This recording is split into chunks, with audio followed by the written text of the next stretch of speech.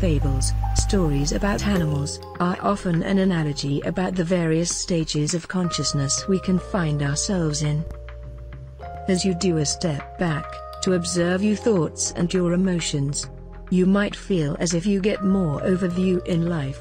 If you have more overview in life you feel more happy than before. Some call this, you have a higher vibration. The universe is a vibrational place.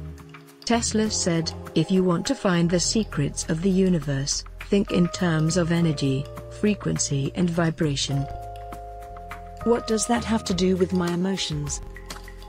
Remember the emotional scale? If you look more closely at the emotion scale, you see the spiral represented by colors. These colors represent frequencies. Red has a long wavelength and a low frequency, purple has a short wavelength and a high frequency. So shame and fear have a low frequency, and love and joy are high. When you deliberately try to be on the left scale, your frequency rises, and somehow you get more overview, which causes even more happy feelings. Then you are in an upward spiral.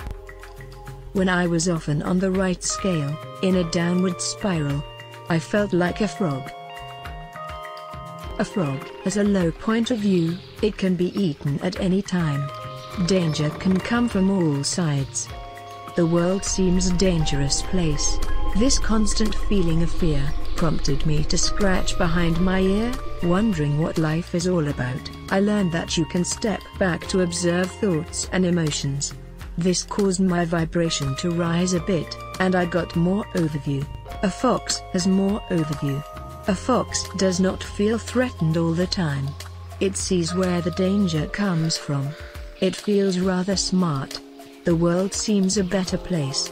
This thoughts and emotion observe thing seems to work, let's see if I can get even higher on the scale. This brings me to the stag. A stag has even more overview. A stag hardly feels threatened. He sees where the danger comes from and can defend itself. The world is a rather nice place to be. By then I discovered who I really was, an eternal soul who cannot really be threatened. I discovered the difference between the ego and the soul. You can look at the ego as programming, to help you survive while you did not know who you really were, an eternal soul, because the ego needs you to survive, it always makes you scared and on your toes. Distrusting the world.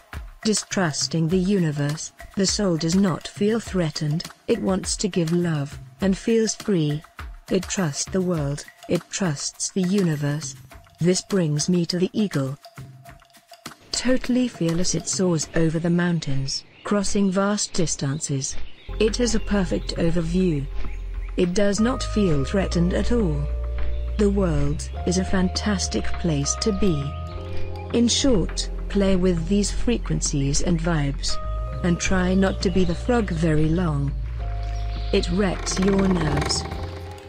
Aim for the eagle. The higher you get, the easier it goes. Remember you are never truly alone. I hope this helps, see you next time.